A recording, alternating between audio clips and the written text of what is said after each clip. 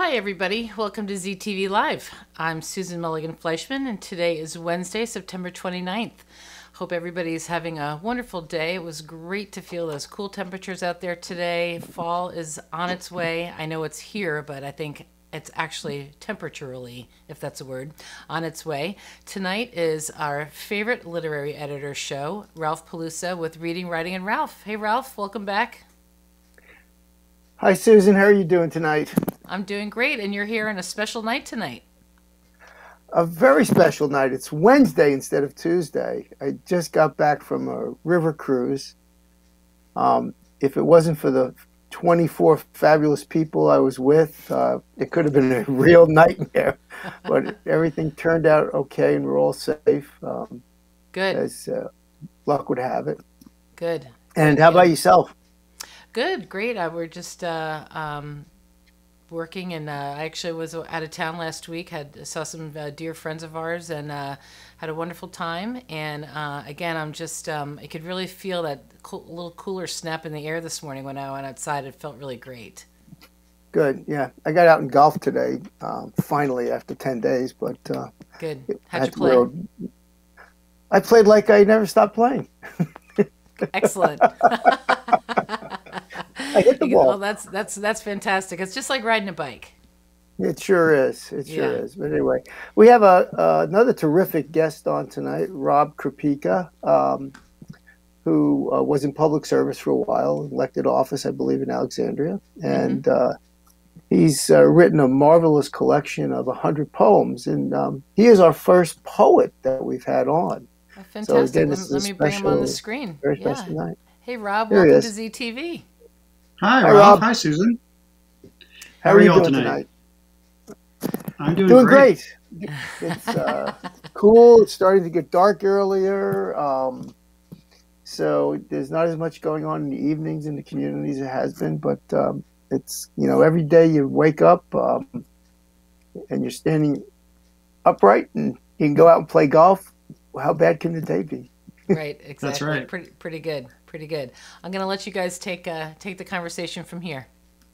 Okay. Well, welcome, Rob. As I was telling um, Susan and our, our viewers, you are our first poet to be on, so it's it's really good. And we've had uh, authors w- from children's books to uh, uh, guidebooks to wines to all sorts of things. But you are the first poet, so congratulations. That's, that's great. I appreciate that. I, I didn't know that. If I if I had done that, maybe I would have uh, uh, pushed to do this faster or earlier. I, I'm, uh, I'm honored to be the first poet. Oh, great, good, good, and, and we look, look, forward to hearing your insights and your thoughts. It's I always like to um, have the author speak about themselves so that our our uh, uh, audience can get a feel for who you are and what you've been doing, what your life's been like. So, why don't you tell us about your background um, and um, uh, what you're doing today, and then also your political career and, and how that sort of uh, led you to, you know, untangling grace. Okay, absolutely. Um, so I'm not a native Virginian. I grew up on the West Coast, came out here to go to college at UVA, and uh, kind of stuck in Alexandria after I graduated. Um, I had the good fortune of serving on the local Alexandria City Council for about nine years and, and the House of Delegates for three years. Those are great honors, and it was a just enormous opportunity to be able to serve this community. I really enjoyed it, and uh, you know, Alexandria is a special place. The community here is really involved civically, and being able to be a public official in that kind of environment is just is, is something that I felt really fortunate to be able to do. Uh, I uh, a few years ago, uh, actually, let me take a step back. I, have always written poetry.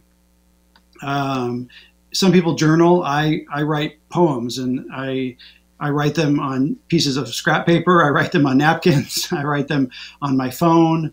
Uh, most poems actually end up on my phone in one form or another and then uh, make their way into some kind of more formal um, formal document. But the but but about five or six years ago, I kind of found myself going through a real uh, number of changes in my life. I had left public service.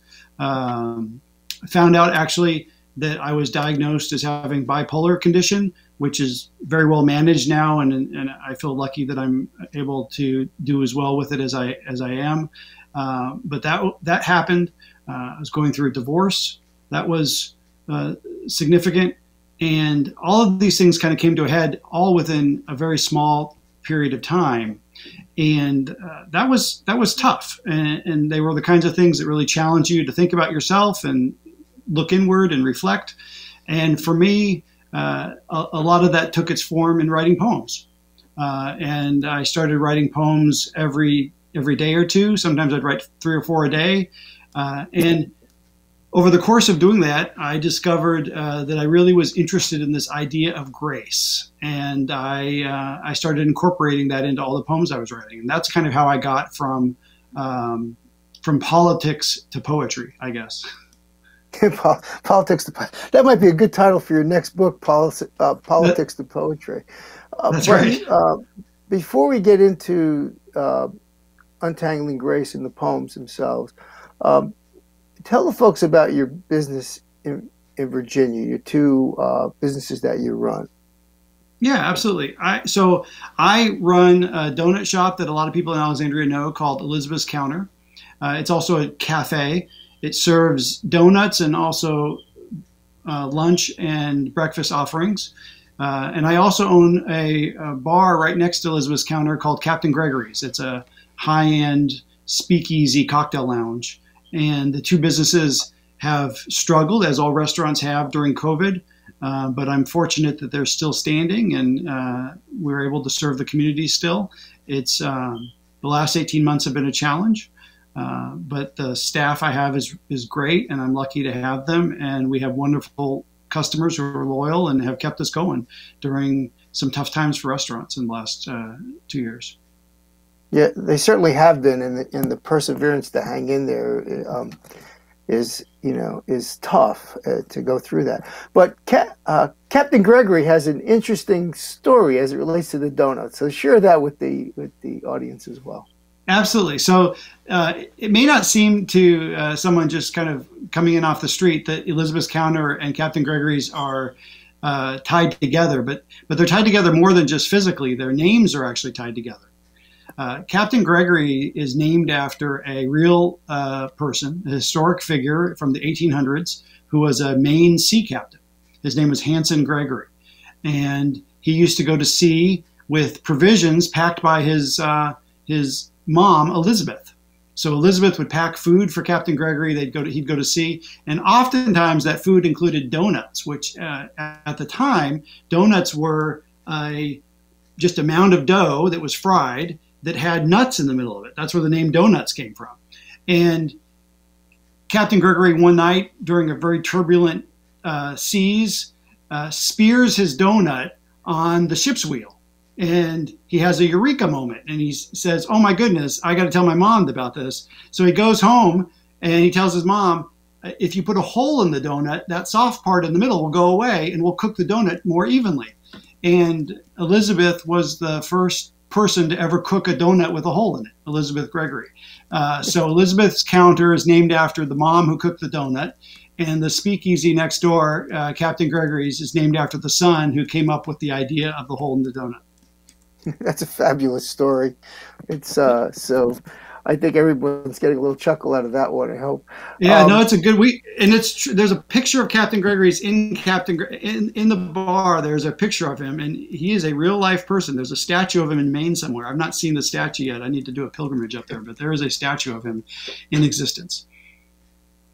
That's that's great. So um, we uh, let me remind the audience we have three trivia questions tonight, um, as usual. Uh, the first person in with the right answer will get an autographed copy of Untangling Grace. And um, before we get into um, Rob's uh, uh, background, his style of writing, and all that, we're going to ask the first trivia question.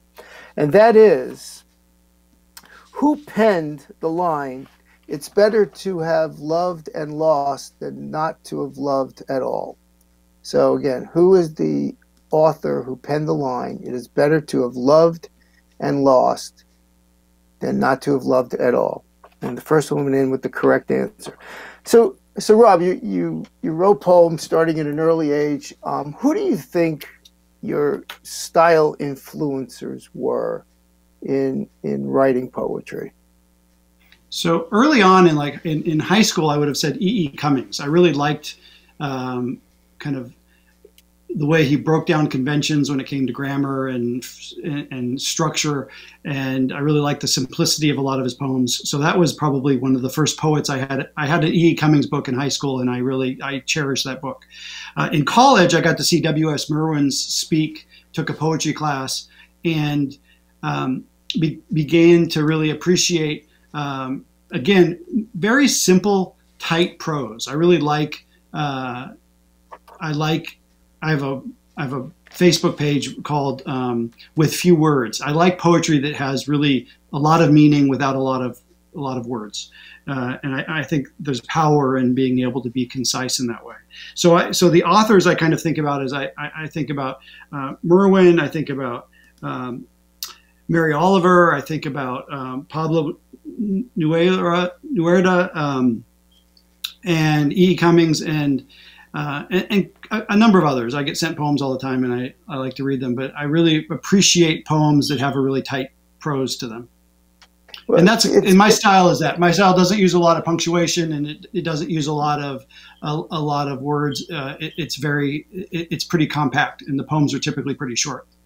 Yeah, it's interesting how the the the writers, uh, whether you're a novelist or a, a, fiction writer, you have you have to use more words to create the images, and then you've got the biographers and the nonfiction writers. They have to use the facts to create the images, and then you have poetry over here, as you just described it. You've got to create uh, um, the message that you're you're setting out in, in such a tight uh, pattern with your words that it's truly an art form that I think a lot of people may overlook.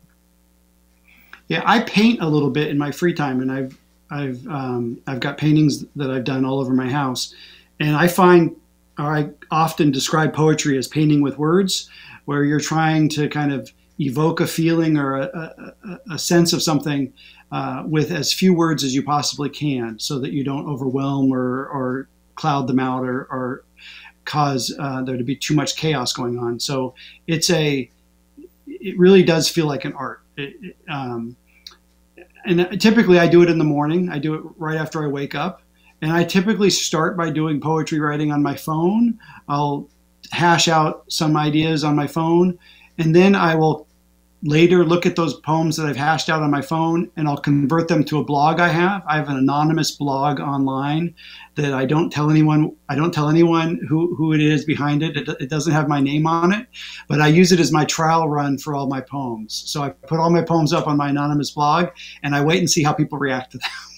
Wow. Um, it's a way wow. it's a way to get unfil- unfiltered feedback without having to without having to put my face forward. And then after I after I see the feedback I get, I then take those poems and I edit them again, and then they find that, that's how they find their way to a finished form.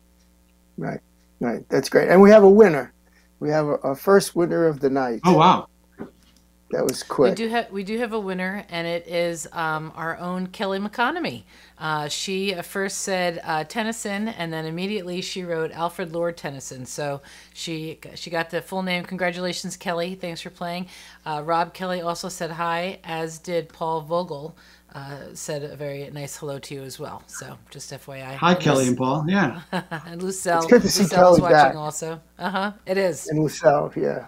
Mm-hmm. But uh, so let's um, let's talk about grace and what grace yeah. means to you, and because um, you said something earlier, and I think may play into uh, how you, how you came up with grace. You said when you were in political office, winning was a great experience, and losing was a great experience. I think that's what he said, and so yeah. both ways you got fulfilled by that and, and and grace is sort of that it's it's kind of a gift from god and it makes people feel fulfilled and blessed so what does grace mean to you and how did how did you uh, run with it through your poetry so uh, looking back on it you know you think about maslow's hierarchy of needs well self where, where self um, actualization is kind of the highest um, tip of the pyramid, right? Um, so self actualization and grace go hand in hand. there is a real need as you kind of go through life uh, to recognize uh, the beauty that's all around you and beauty in things that aren't always beautiful um, initially. And I, I, I really struggled with that. And as I was going through hard times, I struggled with how to accept these times and grow from them and learn from them. And it's similar to campaigning. Uh, you know, winning a campaign is certainly really a powerful experience and it's really positive. But losing a campaign, which I've also done, uh, can also be very rewarding because you still learn and, and you still get connected to your community and you still have uh, all of this love and adoration and all these friendships that have been formed. And there's real value in all of that. And being able to see past the loss and recognize all of the good that came from meeting people and getting uh, and, and, talking about issues with people and helping people solve problems, um, getting past that initial ugliness of losing and seeing all the rest is, is really part of what grace is all about. Grace is about uh, looking past the hard stuff and seeing the beauty for what for what it is. And and that was a lot of what I needed to do for myself, and it, it became kind of a great backdrop for uh, a lot of writing. Wow. And, um, you selected a poem to read. Uh, uh, I have a few, so, yeah. So why don't you read your first selection now? All right. So the, the first one is the first poem in the book, um, and it's a it's a good one, and it goes to what we were just talking about, actually. Um, Grace doesn't come in the bright light of the day, the full bloom of the most perfect purple dahlia, the glassy still of a hidden pond. It only comes, and we can only learn it, in the fog of morning, where things are not clear, or where the push moves opposite our plans, or in the torrents of a storm, where we lack light to guide our way, or the intense anger of an opponent, a hurt friend who wants to strike back, a former lover still reeling from the pain, an enemy savoring your weakness. In these stark, hard moments where your soul's fire calls you to lash out, grace awaits you. Quietly, hopeful that you'll see that the hard, the intense, the painful, the overwhelming will eventually pass, and that grace will make looking back sweeter and moving forward surer. Uh, so I think that one. Yeah. Go ahead and say, say what you're going to say. Yeah. There's a powerful message or messages in that because I, I can't imagine anyone in this audience that hasn't gone through one of those circumstances that are in there. Um, so, what were you telling them, or what were you trying to? What's uh, feeling were you trying to evoke with, with that that uh, message, with that poem? Well, I, I think getting through those hard moments and really um, seeing those hard moments for what they are, taking them in, learning from them, processing them, um, and moving through them uh, to the light at the end of the tunnel, so to speak, is a really powerful way to live. And knowing that you can do that and being confident that you can do that makes life a lot richer. And it makes those experiences less debilitating and much more empowering. And I, I, think those tough moments can be really empowering if you look at them as uh, with kind of a little bit of grace in your eye, so to speak. Fabulous.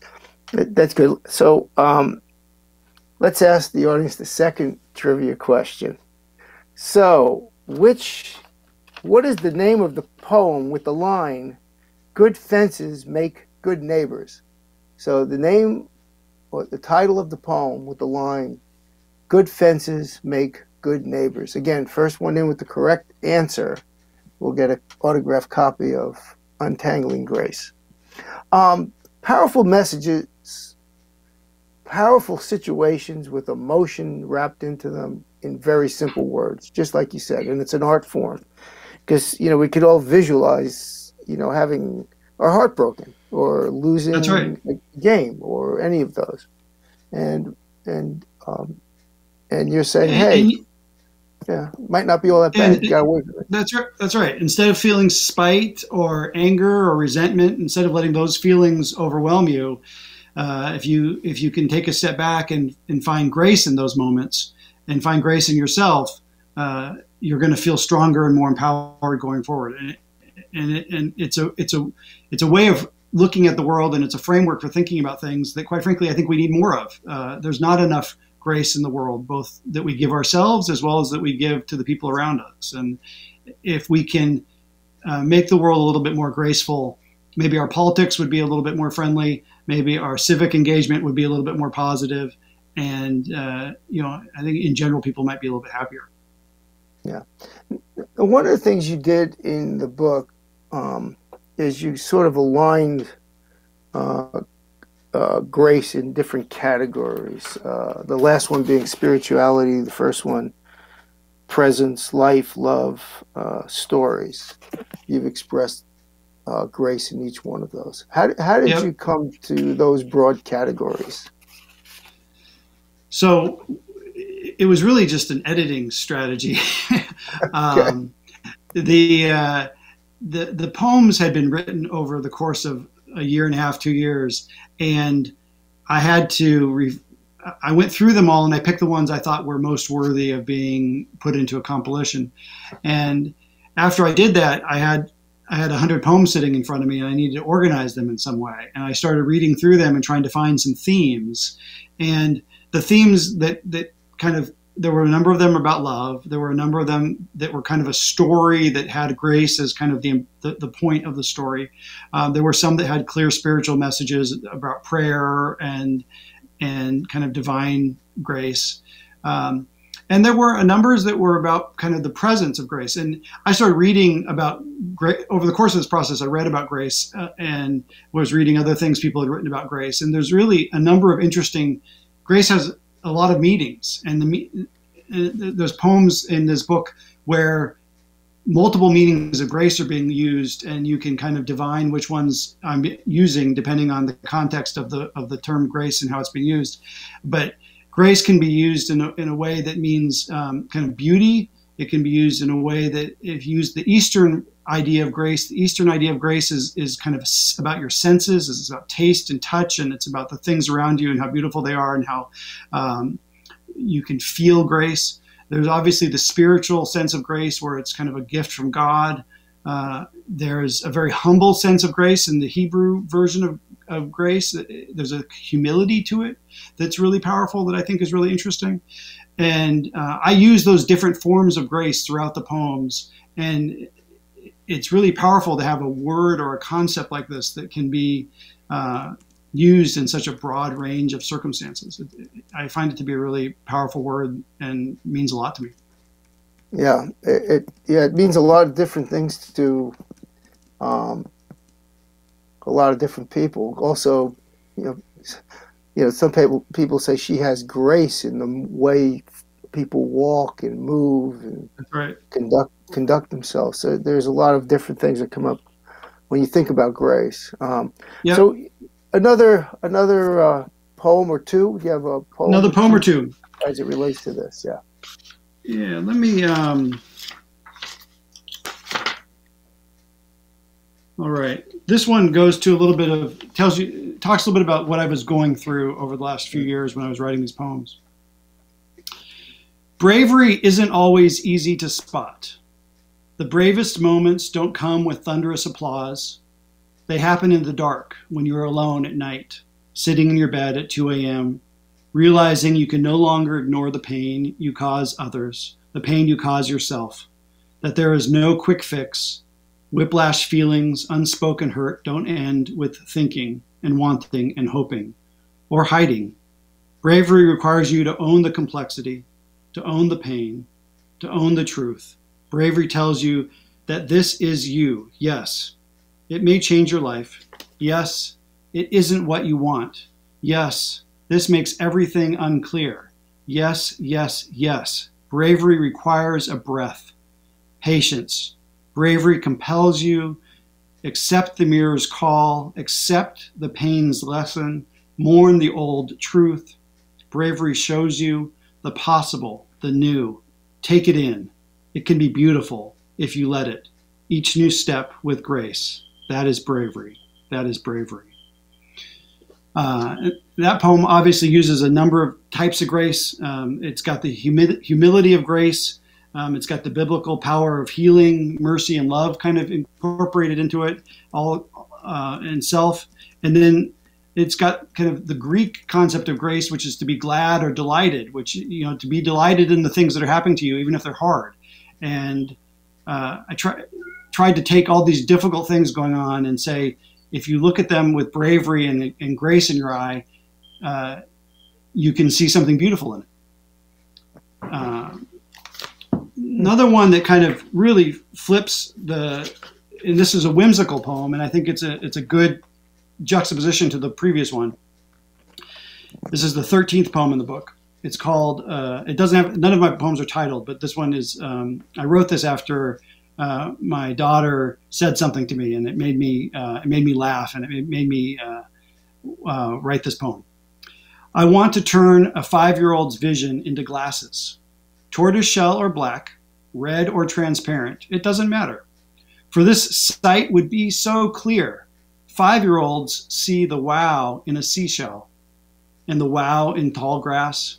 They see wow in the clouds and wow in the night they see wow in a crayon's colors and wow in a mess. They see wow in life's chaos and wow in a twirly dress.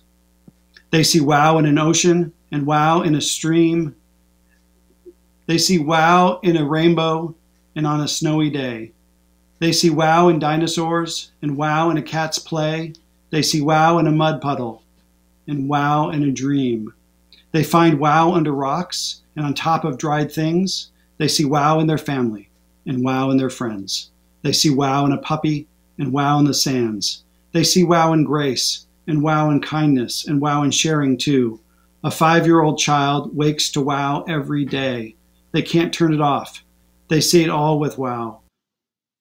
I want to see wow like that. Where can I get those glasses? Oh, yes, I just have to look inside me. The glasses are there. Where did I put those? So those are both very different poems. Uh, and the last one obviously yeah. was much about the delight of grace. So grace is just this delightful thing, and it, it, we should all be delighted with grace, with everything around us. Yeah, well, wow is right. I mean, um, again, you, you know, using very few words, uh, you encapsulated how the innocence of childhood is so amazing and that we should appreciate that. This is my take on that reading. And yeah, absolutely. Uh, and that's that's a a hint for the um, the adults to take a, a, cue from and say, you know, we, we need to appreciate more and start and stop, you know, doing some of the things we do and just take what we've the good things in, right? The first right. one was a little bravery was a little different. That one was it's kind of it says you know you don't have to be beating your chest all the time to be brave. So it's a different message, much different right. message. Yeah. And uh, both had, but both both both have grace as as the underlying kind of web that holds them together. And I, I think that's what's amazing about grace is it, it is if you really embrace grace as a way of thinking about your life, you can see it in everything. Yeah. And you know, sometimes you have to look through the glasses so you can mend walls between uh, between uh, friends and family that have become fractured. So that's right. Um, any, anyway, so um, it's it's kind of interesting when when you see grace from so many different perspectives because you know growing up Christian, you, there is a very much a religious um, um, a context in, in what we see and how and how grace is used, and it's always used in the context of a gift from God, and and so um, um, you know, so this, talk about the spiritual side of this more now. Um, yeah, well, one of, so, one of the context, yeah, yeah, absolutely. So I, um, my grandma taught me to pray and I grew up praying because my grandma told me you have to say your prayers every night before you go to bed, and I did. Uh, throughout a large portion of my life, I every night before I went to bed, I said my prayers, and uh, as I got older, my prayers became much more meditations. Um, But my prayers were probably my first lesson in grace, actually, and I, I've thought about this a lot because my grandma told me, you know, during your prayers, you should, you know, bless your family and ask God to look out for your friends and loved ones and uh, all the people in the world and people, even the people who have wronged you in some way. You should you should ask for uh, blessings on them as well. And that was probably my first real life lesson in grace is is remembering that everyone around you, whether they harm you or not, deserves to be looked at with grace. Um, yeah. And uh, as I got older, I probably pray less at night. To be to be totally honest, but I meditate and I and I think about um, life and I think about the people in my life and in, in, very much the same way. It's probably maybe a more mature way of thinking about things, but it but I still do. And that certainly has incorporated itself into some of the poems in the book. Uh, there's a whole section section on spirituality, uh, and quite frankly, spirituality is in other parts of the book as well, um, because that form of grace, uh, where there's some kind of divine power that is helping make love brighter or making things more beautiful, is certainly a part of of my lived experience, and it, it's found its way into the book. Right. Yeah, you know, if you remember, I think one of the greatest uh, song song lyrics that the that the Beatles wrote was uh, uh, in in my life, uh, and you know, the, the, with the terrific line, "In my life, I've loved them all," right, and, and, reflecting on all of the people that have come and gone through your life, and again. But song song lyricists are like poets in a way, I guess. Absolutely. so yeah. I'm gonna I'm gonna give the third trivia question because we seem to have stump the audience a little bit with uh, good fences make good neighbors. So while they continue to think on that one, we'll give them the last one. This one's easy. Name a poem by um, uh, Samuel Taylor Coleridge other than the rhyme of the Ancient Mariner. So name a poem by Samuel Taylor Coleridge other than the rhyme of the Ancient Mariner. So, um, so spirituality and uh, and the other categories all come together here. So, pick a final poem um, that you'd like to send a message with to our audience tonight. And that's okay. That, that's a. I have two. One is good. short. One.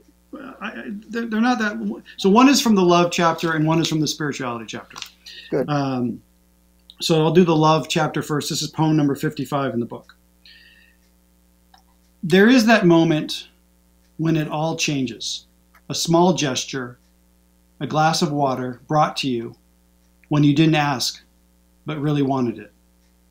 And you realize that the waiting and patience and tolerance of your struggles were as real as a perfect blue sky, were as honest as an afternoon thunderstorm, Time was a test to see if you'd ever see it, if you'd understand how deep the hold was, how true it was. And you smile because there was so much to get through, so much, and your eyes tear because you had to remember how to trust and fall and be caught, to find grace. And it took a while. And you didn't think you'd get there. So as the glass of water gets pushed in front of you, and you are fully seen in a way nobody has, you look up and you grab the water and take a sip and you hope it lasts forever. Wow. And that one obviously touches on love. It touches on kind of the very Eastern concept of, of grace that talks about lived experiences of sight and taste and sound and touch and smell. Uh, it has a little spirituality in there with love as a gift. Um, but it's really just that moment when you realize how much beauty there is in being seen by another human being and how grace how much grace is in that. And uh, just really powerful moment that i think a lot of people have had different experiences with and uh, was was important for me as well. And the last one which i will close on is is almost a prayer. This is poem 88 in the book.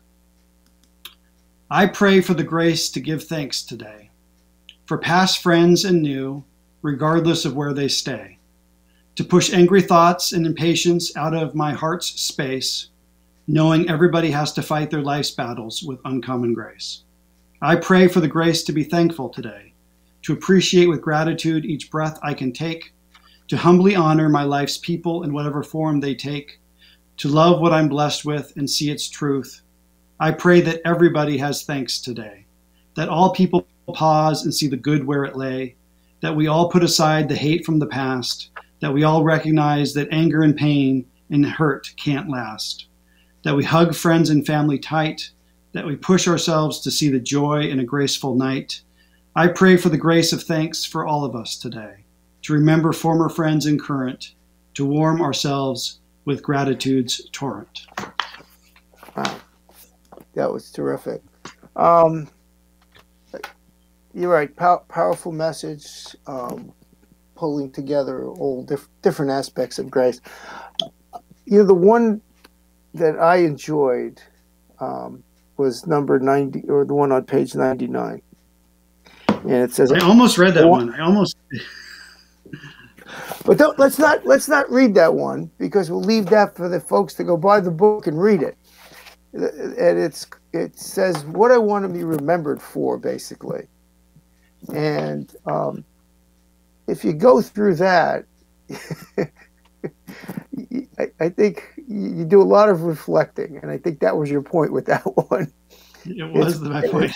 It's, it's, a very powerful message. So go out, get the book.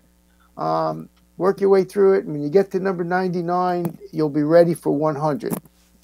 So that's right. Uh, so what's next for Rob? Where, what's what's going on from here? Do you see a follow up to this? Um, what's what's next? Back so, to public service. I, I, so yeah, back to public service. I maybe back to public service at some point. Never say never to public service. Um, right. It's an honor to be able to do it. The uh, there, there's going to be another collection of poems. Uh, I've written a lot during COVID. Uh, I look forward to a chance to be able to do more readings. The, the downside of COVID is is uh, poetry readings have kind of gone by the wayside. So I'm hopeful that poetry readings will come back into into into style, and I can go do some more of those. Um, I'm often at Busboys and Poets. I love uh, their poetry nights, and I, I try to read when I can, and I like to listen to the other poets. Uh, but definitely another collection of poems. I, I still jot poems down on a fairly regular basis as a way of kind of processing the world. And uh, otherwise, keep my restaurant and bar afloat uh, as we pull out of the pandemic. And, uh, and hopefully, find ways to live my own life with grace, uh, which is not easy every day, and it takes work, and uh, I, I, do the best I can. Yeah. Well, yes, that's about all we can do. And congratulations on the work. It's it's it's it's truly a work of art more than it is a book. And uh, before we sign off, let's let's give one more chance. We have two open questions out there. Um, good uh, good fences make good neighbors um, is the title of what poem, or is what is the title of the poem it's from? And name any poem by Samuel Taylor Coleridge other than the rhyme of the Ancient Mariner. So um, let's give him a minute. But yes, I enjoyed I enjoyed uh, your readings. They made the the uh, the poems even more powerful, and uh, it, Thank you. it was very good to hear them. And we're getting um, uh, we've got Kelly on the on the on the uh, good fences make good neighbors, and um, and uh, she's getting close, but nobody has the right answer yet. and I tell you, I, I, I don't. yeah. Well, I've, i was just going to say. I, oh, Susan's got something. Yeah. No, yeah. no, I don't have. A, I don't have a winner. Um, I um, Kelly is giving lots of hints. She knows that she already won sure a book, is. so she she's not giving the whole thing, but she she is giving some hints. She can um, win another book and give it away. That's true, uh, Kelly. Uh, Mending Walls. We got it by Nancy. All right. Nancy Gorski, Mending Walls. So she came in. Oh, there she is. so, Nancy Gorski got it. Thank you. I didn't even see that. Fantastic. Congratulations, Nancy. Thanks for playing.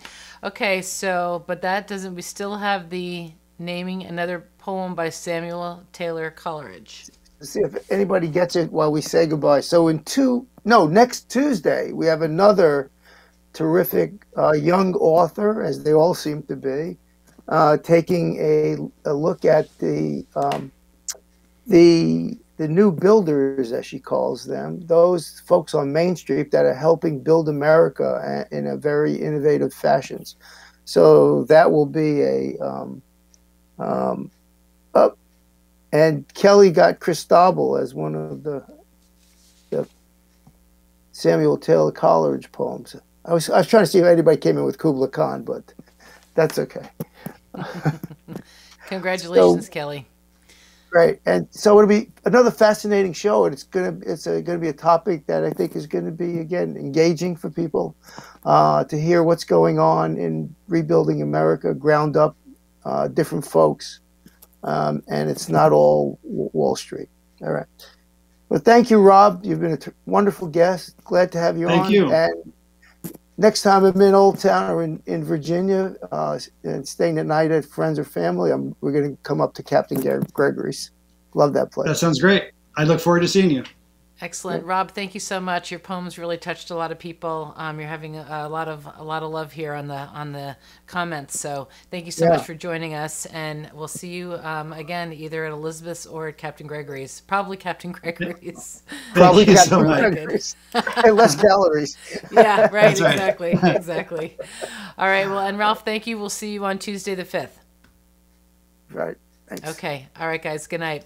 Okay, that's going to do it for us tonight for ZTV. Thank you all for watching and thank you for playing Ralph's great trivia games. Be sure to tune in to ZTV tomorrow night, Thursday. Uh, Elisa Kovac will be here on Make It Alexandria, and her guest is the fabulous Bill Butcher from Port City Brewing Company, which is, I think, a lot of people's favorite brewing company around here. I know I was happened to just be there on Sunday, enjoying a beautiful day, sitting outside, having a cold beer. It was heaven, absolute heaven. And Port City is a wonderful brewery. So meet Bill um, with um, Elisa, who's a wonderful host of her show, Make It Alexandria. That's tomorrow night at 7 o'clock. And until then, and whenever you can, remember to be the good news in someone's life.